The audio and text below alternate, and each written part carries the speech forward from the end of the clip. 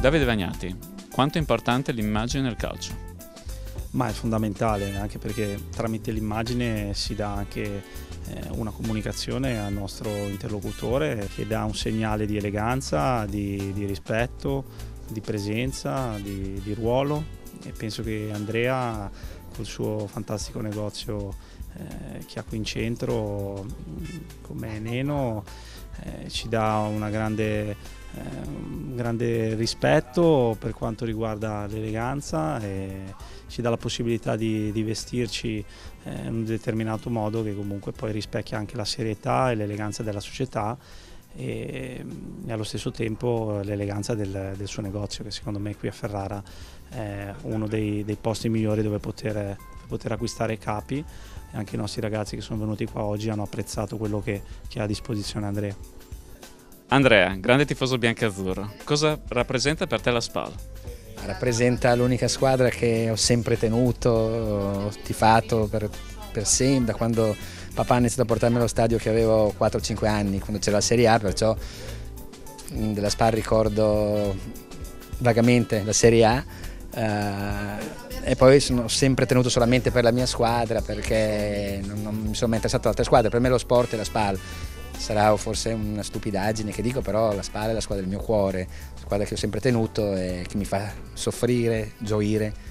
Eh, per me il, cal il, calcio è la Spal, tutto il resto va bene, però la Spal è, essendo un tifoso della curva ovest da mm, una decina d'anni, vivo la partita anche in maniera più determinata, in mezzo ai ragazzi, agli uomini anche non più, non più giovani, come ormai non sono giovani neanche io, e c'è questo non saprei trovare la parola, c'è questa, questo amore tra noi della curva che bisognerebbe, bisognerebbe viverla per capire veramente cos'è. E tu la vivi? Sì, la vivo, sì, sì, sì, soffro. Quando i ragazzi della curva che vinciamo vengono sotto la curva, piango, mi emoziono, mi viene la pelle d'oca, sono fatto così e questa emozione me la dà solamente la spalla è il bello del calcio ed è il bello della spalla. Ma vogliamo parlare un attimo del tuo negozio? Tu sei un punto di riferimento a Ferrara per l'eleganza. Da quanto tempo siete presenti qui in Cortevecchia? Io sono nato qua per puro caso dove stiamo, mi, sta, mi sta intervistando, sono nato, mia madre mi ha partorito qua. Abbiamo la nostra attività va da 20 anni di sartoria del papà e poi da 45 anni attività fatta con mia, mamma, mia madre, mio padre e Dio eh, perciò sono tantissimi anni che siamo proprio in questo siamo, mm, sono nato, viviamo e facciamo la nostra attività in questo punto qua.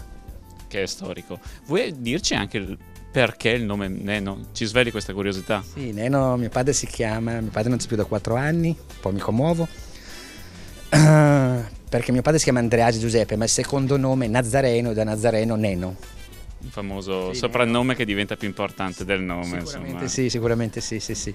E visto che siamo in prossimità del Natale, vuoi fare un augurio alla SPAL e ai suoi tifosi, quindi anche a te stesso? Sì, guarda, l'augurio più grande è che finalmente dopo tanti anni di sofferenza, così, con la nuova dirigenza, con tutto così, davvero potremmo, uh, potremmo così festeggiare il nostro sogno di andare in Serie B.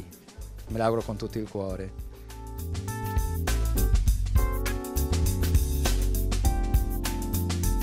Michele, casual, sportivo o elegante? Ma penso che noi sportivi tendiamo a vestirci casual o sportivo, magari elegante solo in certe occasioni, tipo che possono essere delle cene importanti, così comunque penso che un po' di eleganza ci, ci, ci stia sempre bene in qualsiasi ambiente. Luca, quanto segui la moda nell'abbigliamento? Ma sinceramente non tantissimo eh, sono un po', un po', svogliato. Diciamo che preferisco un look un po' più casual eh, perché quando mi sveglio la mattina diciamo che non, non, ho il pensiero di come vestirmi o come sembrare un po' più elegante. Però comunque insomma quando entro in qualche negozio in centro ogni tanto dare un'occhiata mi piace, anche, anche in tv quando guardo qualche programma.